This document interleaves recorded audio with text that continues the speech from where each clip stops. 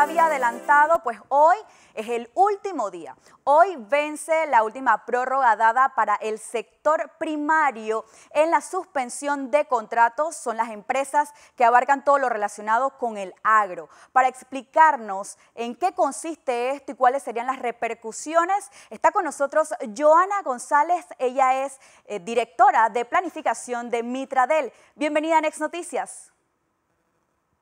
Muy buenas noches. Sí, les cuento un poquito sobre el sector primario.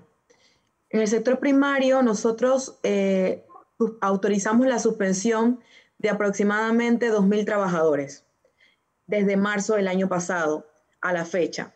Sin embargo, eh, todavía existen 800 trabajadores que no han sido reactivados por parte de las empresas en este sector. Hoy siendo el último día de, donde se permite la suspensión de contratos del sector primario, sector primario podemos indicar que eh, hoy se reactivaron 100 trabajadores de esos 800 que estaban pendientes, lo cual significa que los 700 eh, trabajadores que están pendientes, el Ministerio de Trabajo el día de hoy los va a reactivar de oficio. Esto quiere decir que el día de mañana los trabajadores que saben que pertenecen al sector primario, a estas empresas que se dedican a la agricultura, la ganadería, la caza, la avicultura, la silvicultura y las actividades conexas, deben regresar a sus puestos de trabajo y deben ser recibidos por sus empresas. Señora Joana, usted acaba de decir algo muy importante. A partir de hoy se reactivarán de oficio 700 empleados que la empresa no había reactivado. ¿Qué pasa si esta persona va mañana a su empresa y no tiene respuesta por parte de ellos, no le dicen nada acerca de su contrato y no le quieren reactivar, sus funciones? Bueno, en principio hay una violación de la norma, ya que no existe forma de, para que un trabajador se mantenga suspendido en este sector, según la ley 201 del 25 de febrero del 2021. Esto quiere decir, esta ley era muy clara, indicándoles ya de primera mano a los, a los empresarios de este sector que deben recibir a sus trabajadores posterior a los tres meses desde, desde el momento en que salió esta ley. Esos tres meses se cumplen hoy, 31 de mayo. Entonces, los empresarios deben recibir a los trabajadores. En caso tal de que estos, de que estos empresarios no reciban a los trabajadores, estaríamos hablando de que se puede asumir que existe una terminación laboral de parte de ese empleador. Entonces es muy importante que el trabajador vele por sus derechos. Eh, él debe regresar a su puesto de trabajo y debe ser recibido. En caso tal de que pase alguna incertidumbre, pasa un inconveniente en cuanto a este reintegro de estos trabajadores, el trabajador pueda personarse al Ministerio de Trabajo e indicar em, e indicarnos esta situación y hacer una denuncia formal a esta empresa para nosotros poder ir con esta empresa a verificar en sitio qué es lo que está eh, ocurriendo. Pero desde el primer punto, las empresas eh, saben desde febrero que deben recibir a sus trabajadores y por eso hemos estado haciendo docencia de esta ley. Asimismo, los próximos sectores también tienen una fecha de finalización de la suspensión de sus contratos de eso, de eso me gustaría hablar más adelante, pero quedándonos en este tema primero. Mañana el trabajador va a esta empresa, la empresa, en el caso que le diga, no tenemos dinero para reactivarte, eh, ¿hay alguna medida, alguna negociación que se pueda llegar entre la empresa y el trabajador antes de llegar pues, a una denuncia en Mitradel? Por supuesto que sí. Eh, lo primero, el empresario debe tener una estrategia con sus trabajadores. Esto quiere decir que pueden utilizar alguna otra modalidad eh, de las que están establecidas. Por ejemplo, una que se está utilizando muchísimo es el tema de las modificaciones de jornada. Esto va a permitir que por un tiempo temporal se permita que el trabajador y la empresa lleguen a un acuerdo donde eh, se modifica la jornada de trabajo y de esta forma el empleador va a poder em, adecuarse eh, eh, hablando de manera económica y también a manera de las funciones que se puedan hacer dentro de la empresa para que entonces este trabajador pueda eh, desempeñarse dentro de la empresa a su jornada normal. Entonces, sí es como darle un tiempo para que ambos se pongan de acuerdo y negocien lo que es una modificación de jornada. Esa puede ser la primera instancia. La, la segunda ya sería si el empresario le cierra la puerta al trabajador, significa que en efecto lo está despidiendo e, e injustificadamente. Entonces, en esas instancias es donde el Ministerio de Trabajo va a estar velando porque se cumplan los derechos y se le paguen al trabajador todas sus prestaciones tal cual indica el Código de Trabajo. Entonces, esto entra como un despido injustificado. ¿El trabajador debe llevar alguna prueba al Mitradel? Ok, nosotros en el Ministerio de Trabajo tenemos la plataforma de consulta de contratos suspendidos. El día de mañana, todos los trabajadores que estaban pendientes por reactivarse en el sector primario van a aparecer en esta plataforma como trabajadores activos. Entonces, siendo y con la fecha del día de ayer, eso es suficiente. Nosotros desde el Ministerio de Trabajo podemos verificar esa información. El trabajador no tiene que traernos prueba del tema de reactivación y de suspensión de contratos porque nosotros manejamos esa información y sabemos que ese trabajador fue reactivado de oficio por este, por este tema ¿no? del incumplimiento del reintegro del trabajador.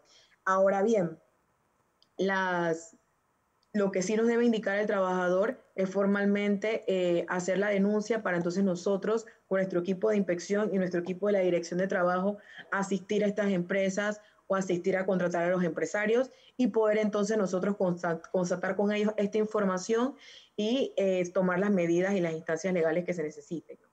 Esto es a nivel nacional. ¿Ustedes tienen ese personal para poder ir a estas empresas que están incumpliendo eh, o que incumplirán a partir de mañana esta medida? Sí, hablemos en términos generales, estos 700 trabajadores pertenecen apenas a 70 empresas. Estamos hablando de un universo de 70 empresas que están distribuidas a nivel nacional, donde la mayoría de estas empresas, 40 de estas pertenecen a la ciudad capital, mientras las otras 30 empresas están distribuidas alrededor de las otras provincias del país. Eh, nosotros tenemos la capacidad de asistir a estas 70 empresas en caso de que se llegase a meritar. Nosotros esperamos que no. Esta información está conversada con los gremios empresariales, eh, se ha dado esta docencia. Ya las empresas recibieron, y esto es muy importante, las empresas de este sector recibieron un correo electrónico masivo de parte de Mitradel donde les indicaba donde les indicaba esta información del reintegro de la reactivación de oficio en caso tal de que ellos no reactivaran. Se les indicó que ya se estaba terminando el plazo de prórroga. También se les prohibió solicitar prórroga eh, para este mes de junio porque ya no existe una suspensión. A lo que veis que nosotros hemos estado haciendo un proceso todo este mes en conversación con estas empresas, o sea, los cuales para nosotros eh, creemos muy poco probable que las 70 empresas eh, no reciban a sus trabajadores. O sea que en base en, ese número de ideas, eh, nosotros esperamos que las pocas empresas que incumplan a este llamado, nosotros vamos a tener la capacidad de responder. Perfecto, muy valiosa la información que nos comparte. Ahora, refiriéndonos a esta medida que han tomado de repente algunas empresas con el tema de la disminución de la jornada laboral, este tiempo para poder mantener esta disminución depende del sector. No, no, la, eh, disminución sí no está condicionada al sector, simplemente, y es muy importante indicar dos puntos, porque hemos estado recibiendo denuncias de eh, trabajadores que nos indican que la empresa no ha llegado a un acuerdo entre ellos para aplicar la modificación de jornada, lo cual es totalmente incorrecto. La modificación de jornada es consensuada por las partes. Ambas partes eh, firman eh, una adenda al contrato o algún documento que indique esta modificación por las partes. Y en las empresas que, er, que exista una figura de sindicato, este acuerdo también debe estar firmado por la figura de sindicato. Esto para garantizar que sea algo consensuado entre las partes. También la modificación de jornada debe tener un tiempo definido. No es indefinido ni eh, cambia las, lo, establecido en el contrato primario de trabajo que ejerce esa relación trabajador y empresa.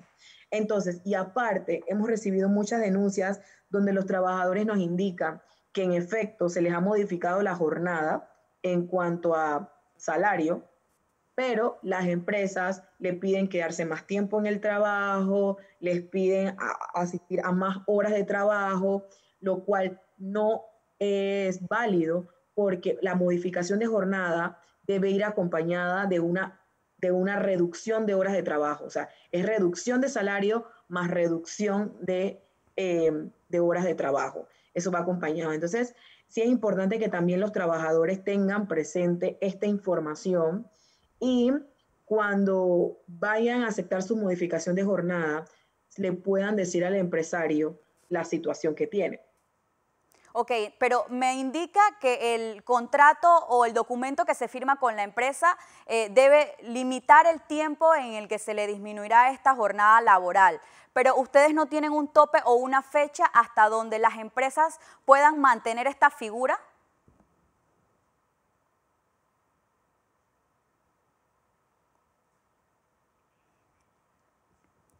Señora Joana, eh, si puede encender el audio porque no lo estamos escuchando en este momento.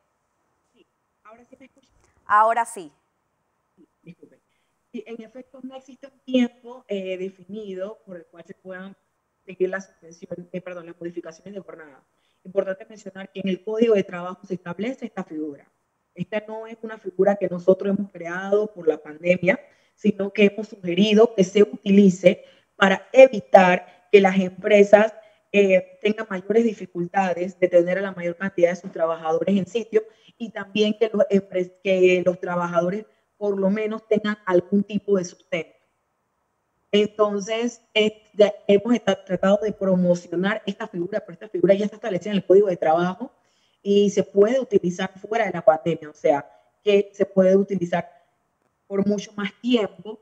Sin embargo, como te, como te explicaba, sí debe ser consensuado por las partes, o sea, que un trabajador puede decidir si ya no puede más con la modificación de jornada, porque estamos hablando que si un empresario te pone una modificación de jornada por seis meses y no es negociable eso, eso con el trabajador, porque el trabajador tendrá algunos gastos o tendrá algunas responsabilidades que asumir, es algo que ellos pueden consensuar, que pueden determinar en el tiempo. Ok, entonces en todo caso sería ir a asesorarse al Mitradel o interponer una denuncia. Ya para finalizar, los otros sectores también tienen fecha límite para esta suspensión de contratos. Eh, ¿Tiene la fecha de cada sector? Sí, en agosto, a finales del mes de agosto, eh, finaliza la suspensión de contratos del sector secundario. El sector secundario contempla la industria manufacturera, la construcción, todas las actividades que son de suministro eléctrico, de suministro de agua, alcantarillados, todas las actividades, eh, más que todo técnicas relacionadas a temas de infraestructura. Y por otro lado, el sector terciario puede mantener su suspensión hasta eh, octubre, hasta el 31 de octubre del 2021, eh, donde en este sector terciario se encuentran todas las actividades de servicio, la de comercio, los restaurantes, los hoteles, todas las demás actividades. Ahora bien, es importante mencionar que existen todavía actividades que están cerradas por restricciones de movilidad de las autoridades sanitarias. Por ejemplo, cuando hablamos de discotecas, cuando hablamos de eh, bares, pero en, áreas cerradas, sin, tener la capacidad de al aire libre. También estas empresas de eventos, eh, algunas de estas empresas que estén realmente afectadas porque su actividad no puede operar, estas empresas todavía pueden mantener suspensión de contrato cinco meses más posterior a que el MINSA autorice su apertura.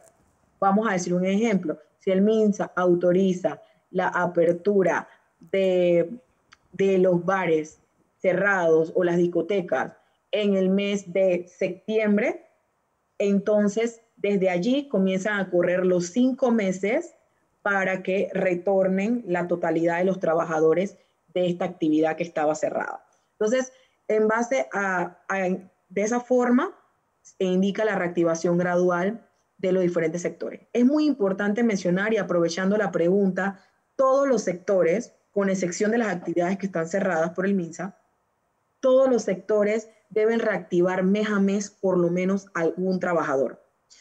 ¿Por qué lo digo? porque nosotros, eh, nosotros publicamos un listado de empresas que están incumpliendo a la ley, eh, a la ley 201. La publicamos la semana pasada, el miércoles pasado, en las redes sociales y la página web del Ministerio de Trabajo. Estas empresas estaban incumpliendo porque no estaban cumpliendo con la gradualidad de sus trabajadores, es del reintegro de sus trabajadores.